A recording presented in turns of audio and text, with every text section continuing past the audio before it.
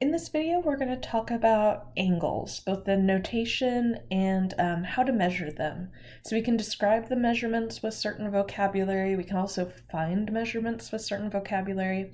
And then we'll also look at using a protractor and how to um, actually measure the angles.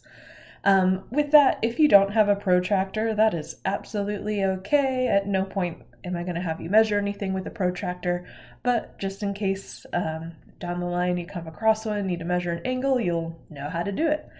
Um, so first off, let's get a definition for angles.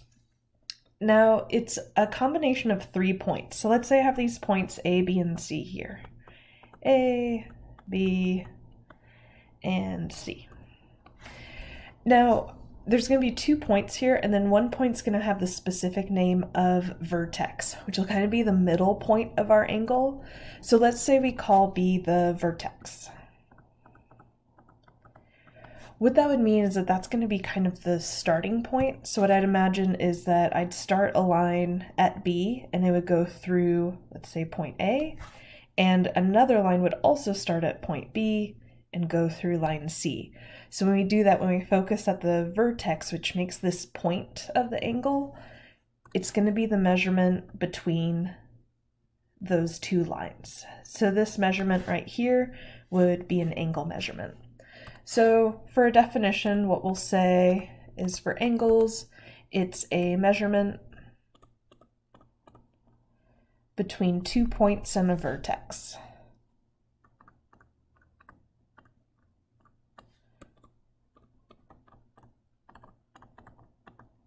Now, for notation, there's a few different ways that we could write this um, angle measurement. So if I'm trying to describe this uh, color blue here, this blue measurement here, um, the symbol we'd use looks like this. That would be read out loud as angle. And then we can do it as a combination of three letters, and the order doesn't really matter, but what is important is that B would be in the middle. So I could describe it as angle ABC, and by describing it that way, it gives me the order to follow. So it's angle, and we're starting at A, going to B, and then ending at C. So with that, I could see how that measurement comes through. Um, we could also describe this as angle CBA, and it would give us that same measurement. Starting at C, going to B, and then going from B to A would get us that same point. But just notice if I changed things. So as a little side note here, if I had those three points, A, B, and C, and I wanted to talk about, say, angle measurement CAB, what that would mean is I would have to go C to A, and A would end up being my vertex. So I go C to A and then A to B. So with that, the angle that would be described there would actually be this angle being formed at A. So it wouldn't connect at all to this um, previous picture that we just drew. It would be doing something completely different. So the order of the letters is important. More specifically, that middle letter has to be the vertex. Another thing we can do is just call it angle B because that's really where the angle is occurring. So just saying the angle and then whatever the vertex is, since those other letters, the order isn't mattering so much, we can just rely on that vertex. So with that, let's talk about actually getting a numerical measurement for our angles. And to do that, we often use a protractor for measurement. It's kind of our ruler for angles.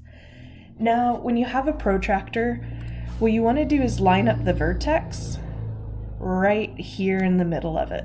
So you'd put the vertex right there, and then it just kind of depends. Maybe your line segment's going off to the right, or it could be going off to the left.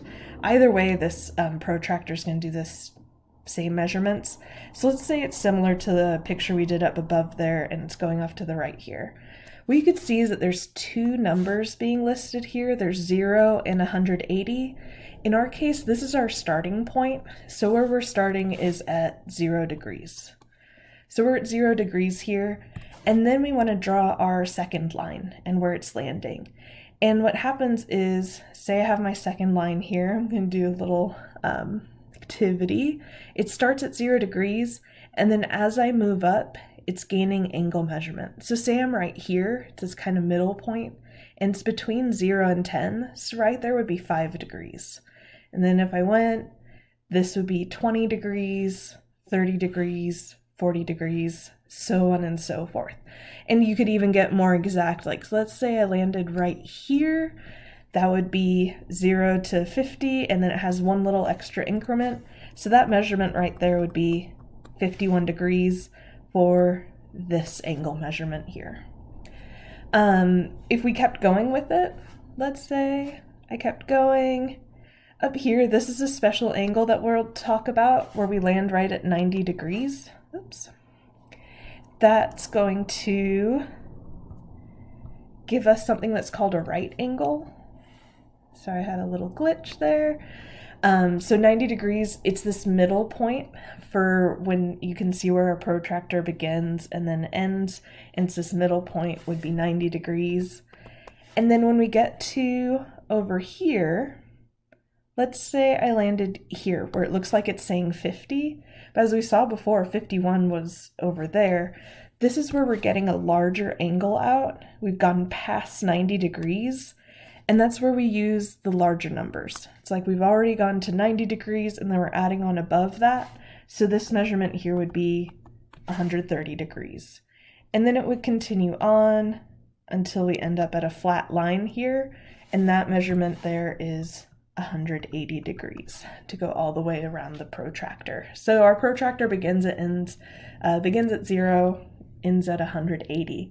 The idea is if you have a protractor, they're generally clear when you get them, and you can lay them down on your paper, or you just have to find the vertex, and then you can measure out that angle. So let's see how this works out. If we knew the angle measurement that we wanted to use, and I have some clear protractors on top of the paper here, but what we can see is our vertex here, and then we have our starting line mapped out for us for each of these scenarios. So that's starting at zero, and this is how I would line up my protractor. I'd get that little um, kind of cross there right over the vertex. And then what I would do is think about, I'm starting here at zero, I got 10, 20, 30, and then I want 35 degrees. So then I just go five more, and that means this angle right here is 35 degrees, which is exactly what we want there. Um, for 90 degrees, similar setup there. So we have our start at zero and then measure around until we hit 90, which would be like that. Now, you'll notice some notation I've been using here um, when we show measurements, like in this first one. I kind of drew this little arch here, and then you could label the number next to it. Um, we can do that with any angle measurements. With 90 degrees, we do something special. Um, it's kind of a special angle that's going to come up a lot, especially when we talk about triangles. We want a short way of showing that it's 90 degrees. So what you'll see with 90 degree angles is just like a little box. It's part of a square there.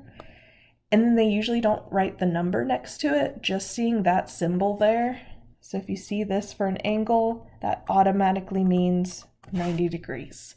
So if I was drawing a picture, I would just draw like that, and I wouldn't write 90 degrees out because it's implied by the symbol. All right, 120 degrees down here. So here we are at zero, and then I'm gonna grab my line. So if I'm going off to the right here, there's 0, 10, 20, 90, and then to get 120, we need to go onto the other side of our protractor there. So for this one, this angle measurement here is 120 degrees. And then 180 degrees is a special one where it's going to look like just a flat line. You do have this vertex kind of separating the line up, but so we start at zero and then we'd be counting all the way around until we get to 180 on that other side. So this angle right here seems kind of can sometimes feel uncomfortable to draw that one because it just looks like a straight line, but it is a measurement of 180 degrees. So that's for if we know the angle measurement and wanted to measure it out, that's how they'll show up. Now we're seeing some special angles here, and each of these could be described a different way. Um, this first one, the 35 degree angle, a term we would use for that is acute. And what you might be seeing with this protractor is there's kind of this cutting point, especially the 90 degrees is kind of the cutting point of having these smaller angles versus larger angles. So when we have these smaller angles, we call them acute. So on this next page, I'm just going to write a definition for you over here. It's that an acute angle is an angle less than 90 degrees.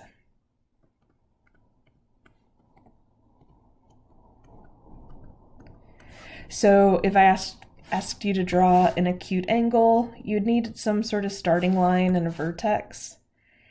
And then from there, if I wanted an acute angle, so you can imagine, okay, if here's 90 degrees, then it can just be any spot below that. Anywhere in there would make an acute angle. Let's say it looks something like this.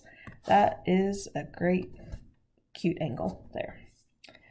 All right, our next one's a right angle, and that's what we use for 90 degree angles. Say it's a right angle, and when we get to triangles, we'll talk about right triangles. It's having that angle measurement of exactly 90 degrees. So, an angle exactly 90 degrees.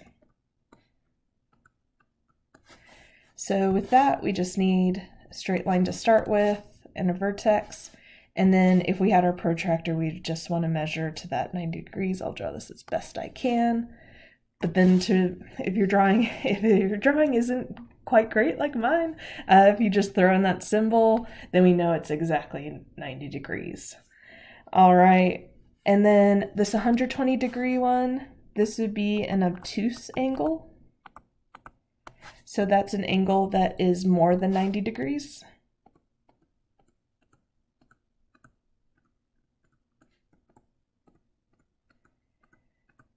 So if I had to draw an obtuse angle, I'd get my vertex, get my first kind of starting line going, and I could imagine, okay, there's 90 degrees. Anything to the left in this case would make an obtuse angle. So then we'd have that large angle there. And then our last one is this special case of 180 degrees, which is a straight angle since it makes a straight line. So with that, it would be an angle exactly 180 degrees. So with that, we would just need get our vertex, get our starting line, and then really to draw the next line, it should just be a continuation of that line that you started with, and that would be 180 degrees. Um, so there's some definitions of types of angles that we could see.